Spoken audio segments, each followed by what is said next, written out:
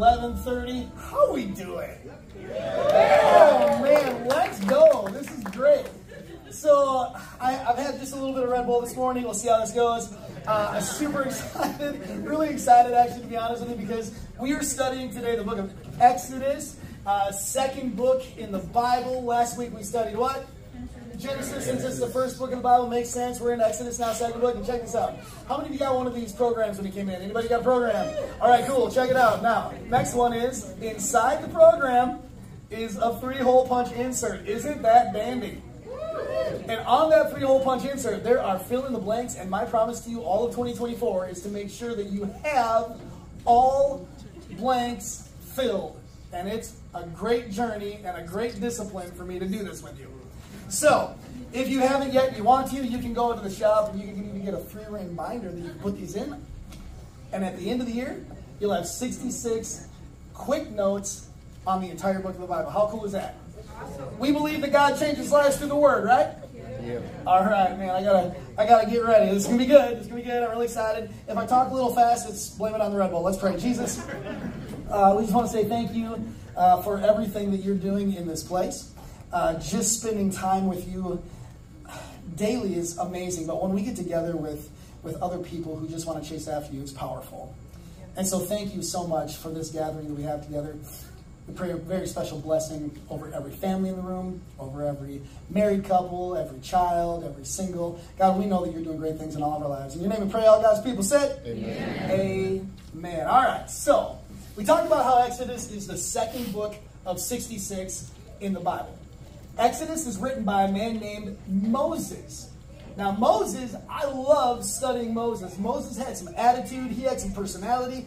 This guy was legit. So, what I'm going to do is, I'm going to give you a quick Red Bull background on the author Moses before we go on. Are you ready? Here's a quick background. All right. Moses was born during the time that Pharaoh gave the order for the sons to be thrown into the river. So his mother hid him in a floating basket in the reeds by the riverbank, with his sister posted nearby to make sure he didn't sink into the water. When Pharaoh's daughter was going to bathe in the river, she noticed the floating basket, opened it up, and there was little Momo belting out an adorable little cry. Pharaoh's daughter noticed little Mo was a little Hebrew baby, and this is where Moses' sister had an instantaneous, clever idea to ask Pharaoh's daughter if she would like a Hebrew woman to nurse the little Mo and keep him healthy. Pharaoh's daughter said yes, so Moses' sister ran and grabbed Moses' mother, and they lived in Egypt, growing up in royalty under Pharaoh's rule. But wait, there's more. Moses is a Hebrew, and all the Hebrews are slaves. One day Moses saw an Egyptian beating up a Hebrew slave. Momo had seen enough and said, no, no, then killed the Egyptian and buried him in the sand. Pharaoh found out and ordered Moses to be killed, and that's when Moses ran. Then what we do is we find Moses in the backfield of his father-in-law's land as a shepherd. So we've got this murdering shepherd now in the land of his father-in-law. And this is where the story kind of gets interesting. So I want to give you, before we get to that, I want to give you just a little bit background of Exodus. The type of book that Exodus is, it's a history book about the Hebrews. The date of writing is somewhere in between 1446 and 1406 BC. The reason why we know that is because that's about the time that the 10 plagues happened in Egypt. And so that marks the moment that uh, this book was born. All right. So I've studied the book of Exodus. But one of the verses in the book of Exodus is my absolute favorite verses on the planet. It's found in Exodus chapter 6, verse 7. Here's what it says. The key verse is Exodus 6, verse 7. It says, I will claim you as my people, and I will be your God. Then you will know that I am the Lord your God who has freed you from the oppression in Egypt. And I want you to hear something this morning, church. I believe with all of my heart that the scripture that was written in Exodus is for us right now today. God has claimed you as his people, and he wants you to have a relationship with him, and he will be your God, and you can have peace every single day knowing he is in control. Can I get a amen? amen? I love this verse. There's so much power in it. I wish I could just preach on that today, but we got a few other things we got to cover. Here's the big idea of Exodus. The big idea is Exodus is that God saves his people from slavery. Now, 1130, you're going to like this, the way that I twisted this. I'm throwing a little, throwing a little chocolate on this. Here you go.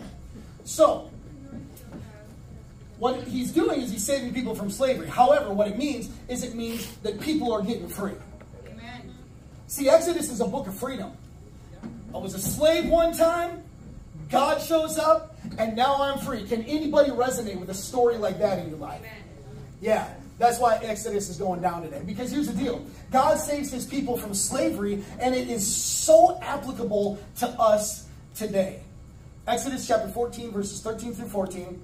Moses said something to the people that was dynamic, needed, and they understood it. And I want to repeat it for us this morning because it's just as dynamic for us, it's just as needed, and the people under and you're going to understand this. Moses said to the people, Do not be afraid, stand still. Can someone say amen? amen? Do not be afraid, stand still. Let's just be really honest and throw it all out on the table today. The world is a difficult world to live in. We have the highs of highs that we see. We have the lows of lows. We have circumstances that are foggy that we don't know how we're going to get to. And we always wonder how it's going to end up. But here's what we know. We know that we can stand still and not be afraid when we're rolling through this life with God. Amen? Amen? And that's what makes this so awesome about the verse for today. Because this verse is calling us to once again believe in the God who delivered the slaves out of Egypt. And he tore it up when he did it. He kept them safe. He kept them at peace. He made sure that they got to the promised land. And I want you to know that God is doing the same with your life today. You are going to get to the destination that he has planned for you. You can take that to the bank. I'm fired up. Maybe it's the Red Bull. Don't know. Holy Spirit.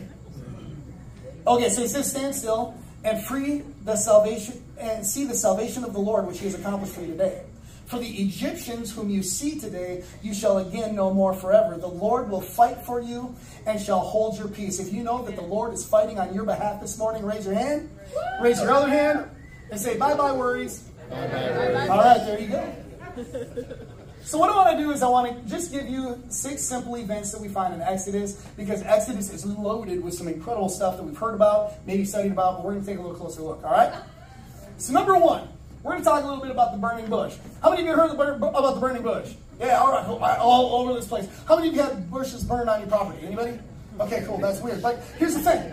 So there's this burning bush, and God sends Israel a deliver through this burning bush. Let's go to the story in Exodus chapter 3. Exodus chapter 3 reads like this. The angel of the Lord appeared to him in a flame of fire from amidst a bush. So he looked, and behold, and the bush was burning with fire, but the bush was not consumed. Then Moses said, I will now turn aside and see this great sight, why the bush does not burn. So when the Lord saw that he had turned to look, God called him from amidst the bush and said, Moses, Moses. I want you to put your, yourself in Moses' shoes for a minute. You're tending sheep in the backland of your father-in-law's land. You see a bush that looks like it's on fire, but it's not. It's not burning up. And then the bush starts talking to you. How many of you at that point are just like, what was in what I ate? Right? So Moses, what's interesting about this is as the bush is talking to Moses, the Bible says, then Moses said. Now Moses is talking back to the bush. This is an interesting day, y'all. When you're reading this, it's like, wow. Then Moses said, I will now turn aside and see this great sight, why the bush does not burn up. So when the Lord saw that he turned aside, God called him from, from inside said, Moses, Moses. And then, this is what Moses says. He says, Here I am. Then he said, Do not draw near to the place. Take your sandals off your feet, for the place where you stand is holy ground. Moreover, he said, I am the God of your father, the God of Abraham, the God of Isaac, and the God of Jacob. And Moses hid his face, for he was afraid to look upon God. I want to hit you with a question, because it's church and we have fun. What's your burning bush moment? What is it that God is coming to you with today and calling you forward into? What is it that he's asking you to join him in doing? What is it that, that he, he wants you to respond to and engage and, and lead others to freedom? What is your burning bush moment? Because we all have a burning bush moment. God is coming to us and He's speaking something to you. His desire is that we respond the same way that Moses responded. Moses responded with these words. He said, Here I am. Ought to respond like that to God on a daily, huh? Hey, I want you to go to St. Cloud and preach the gospel. Here I am. Hey, I want you to go and talk to some people that don't look, talk, or act like you. Here I am. Hey, I want you to keep on smiling at people on the street, make them wonder what you got. Here I am. I want you to show those broken teeth off. Here I am. What's your burning bush moment? Because what we need to understand is we need to understand that when God chooses us for somebody else's freedom, we also see our own frailty, don't we? Amen. That's right. Isn't that amazing? See, God is leading you into greater paths. He's leading you to deliver freedom to somebody. But it's not going to be easy because you're going to recognize so quickly just how frail you are. And you're going to identify the fact that, let's be honest, we're pretty weak. We need something to stand on. What are we going to stand on as we help lead other people to freedom? Well, there's only one thing that is sturdy enough that we can stand on, and that is Jesus Christ. Amen. You see, it's His strength that comes into our lives, propelling us forward so that other people can find freedom. I believe that St. Cloud is going to be the freest place on the planet where other cities are going to wonder what's wrong with St. Cloud. I believe that freedom is going to be the anthem in 2024. I believe that freedom is going to call people forward. I believe that freedom is going to impact families like it never has. I believe that freedom is going to impact neighbors like it never has. I believe that freedom is going to fill the seats of this church, not because we want a full church, but because we want free people. Amen.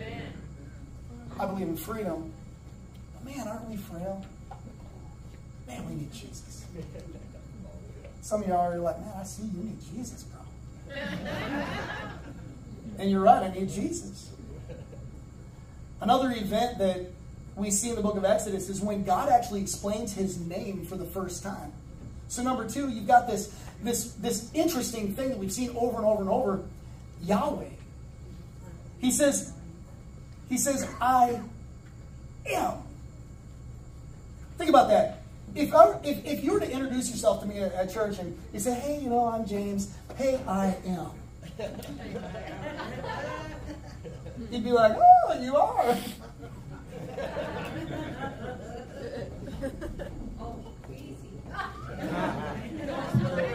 Do you see those Red Bull reflexes?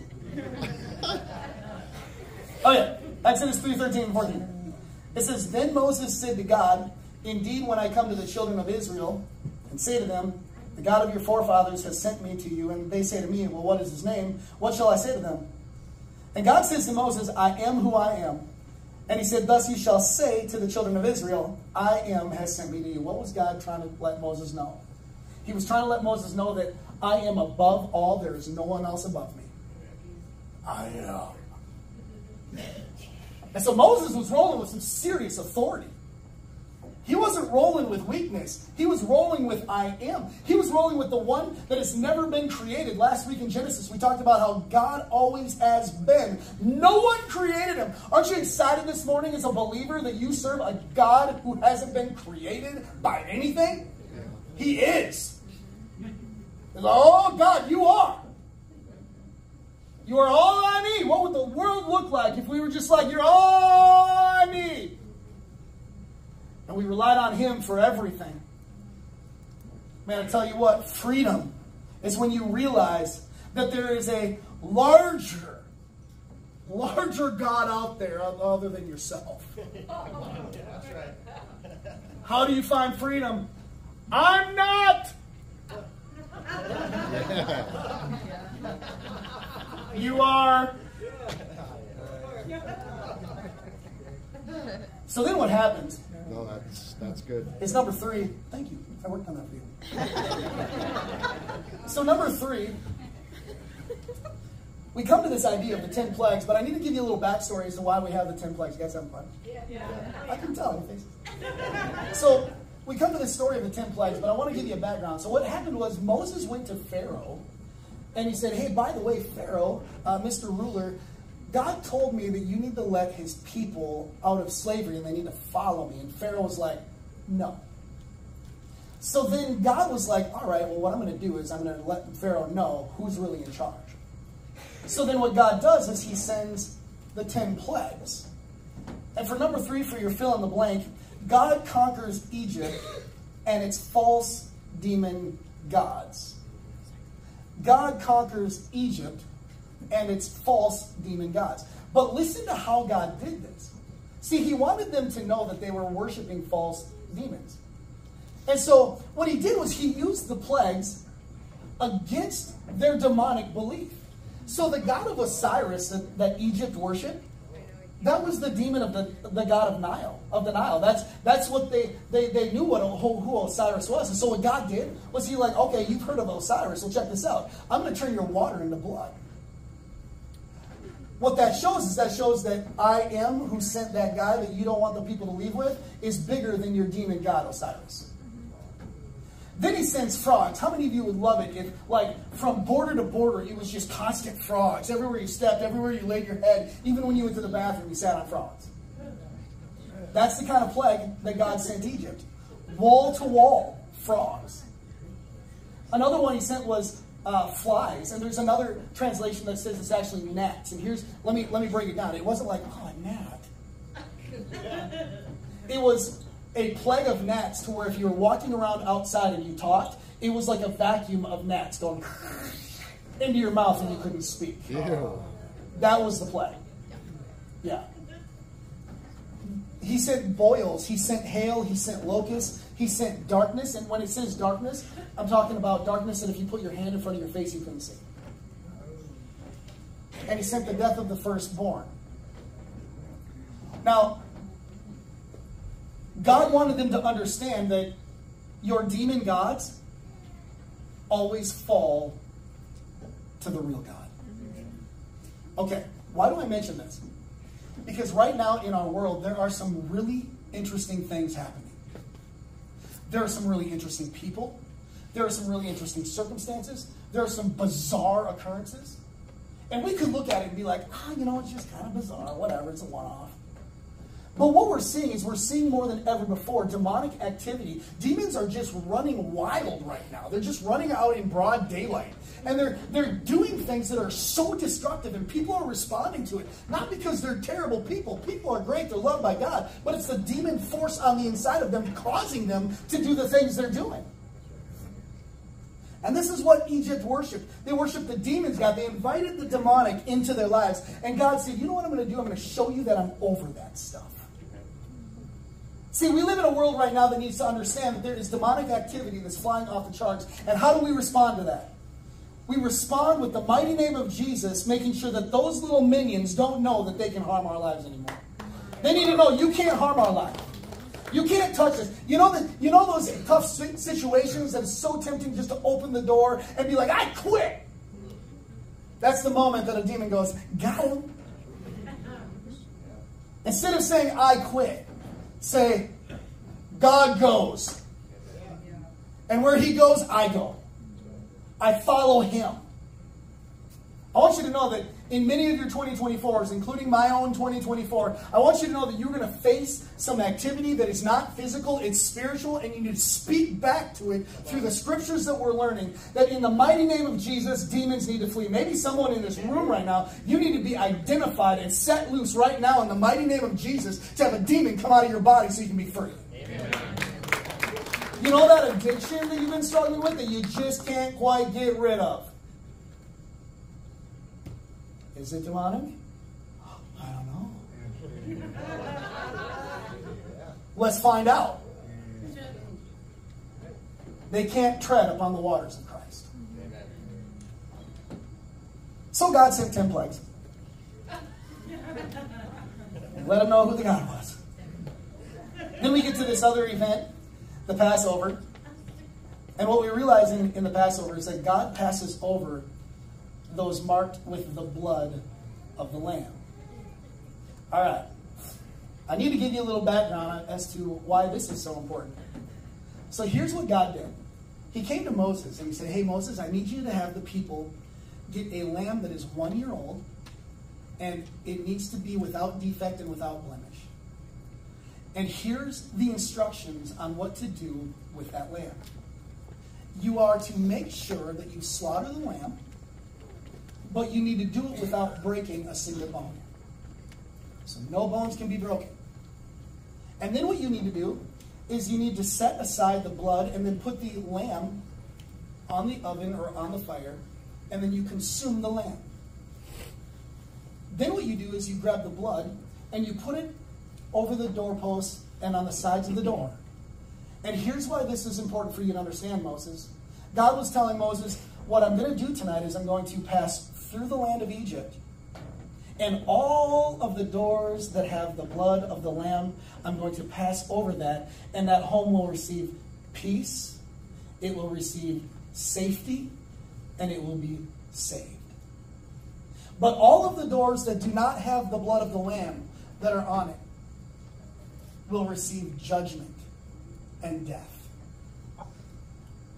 What he said was, he said that every firstborn child and animal living in the home that is without the blood will perish. What does that sound like? It sounds a lot like Jesus, doesn't it? It sounds like if we're covered by the blood of the Lamb, the blood of Christ, we're saved with peace. But if you don't have the blood of the Lamb, you receive judgment. Is that seriously kicking in already? Man, I got some time, bro. So here's the deal. What he's saying is he's saying that the blood needs to be on the doors and the and, and the and the doorposts. What I think is really cool that if you if you kind of if you kind of look into this a little bit, when blood drips from the door, from the top and from the sides, it almost forms a cross. It almost would, would resemble a cross. I think that God was showing Moses in Exodus the blood of the lamb is going to be slain on a cross. Amen. I think that's what he was doing. I think he was showing his, his, creative, his creative nature and that he exists outside the confines of time. See, we need the blood of Christ in order to be saved. Amen? Number five, we get to another event. And this is the parting of the Red Sea. God saves his people as they pass through the water. So, how many of you are fishermen in place? If the water is parted, how many of you would throw your line into the wall of water? That's you, right? Okay. So what, what happened was Pharaoh eventually let the Hebrews out of Egypt, out of slavery, because it impacted his own household with the plagues. So Pharaoh was like, get out of here, man. I don't know what you brought with you, but I don't want it in this area. So the, the Israelites or the Hebrews made their way to the Red Sea, and there was nowhere to go. But behind them, what they heard was very dangerous because what happened was Pharaoh decided that he wasn't going to let them go. He's like, hey guys, rally up. I hate those dudes. Let's go slaughter them. So Pharaoh's army comes in behind the Hebrews, and, and the Hebrews are beginning to hear the different chariots and, and they're hearing the screams and the chanting of war. And they go to Moses. Listen to this. The Hebrews go to Moses and they say, Moses, what are we going to do? And Moses goes to God. And the Bible says in Exodus, he went to God and he said, Hey, listen to the response that God gives Moses. Why didn't you come to me? And then he says this just move forward. Water.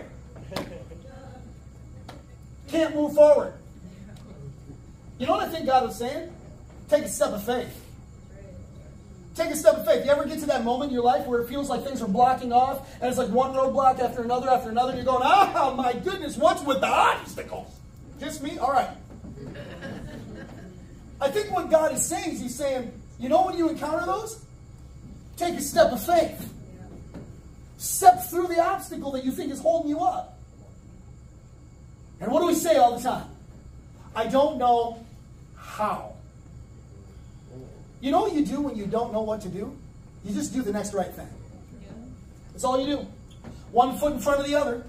Okay, so all of these he, all these Egyptians are coming in on, on the Hebrews. And so Moses is like, okay, Lord. So the Lord tells him to take his staff, wave it over the sea, and take, take his hand and wave it. And he does. And then all of a sudden the waters go. And Moses is like, cool party trick. All right. So then what happens is the Bible says that about 500,000 men begin to pass through. It doesn't talk about women and children. Listen, there could have been up to 2 million people walking on dry land through the Red Sea. Which, by the way, you can go to the site today in the Holy Land where they have pillars set up where they think they cross over. It's pretty cool. Okay, so then they all get on the other side. Can't you imagine just a little boy who, who's just all curious and he kind of he kind of looks around the wall of the water and he goes, "Mom, the Egyptians are still coming." And I can just see little heads peering and seeing the Egyptians rolling through the dry land. God does something amazing. He just folds the envelope. Egyptians obliterated. It's absolutely incredible to think about the love that God has for people when they need freedom. Isn't that something? Well, God loves us all the time. I know, but there's something fresh about freedom when it comes to God. He wants all to be set free. Okay, so we talked about a few events. Let's go ahead and let's talk about Jesus in Exodus. Really? Jesus is in the book of Exodus? Yes. And this is going to be fun for you. And I've only got two and a half minutes left. Here we go. Red Bull moment. Number one. Jesus is the God in the burning bush. Exodus chapter 3, we already talked about it. He said, When they ask who sent you, say I am. We fast forward to John chapter 8 in the New Testament. Jesus is speaking, and he said, Most assuredly, I say to you, before Abraham was, I am. Jesus said, Hey, I'm the guy that you were talking to in the burning bush. That was me. I am. You're welcome.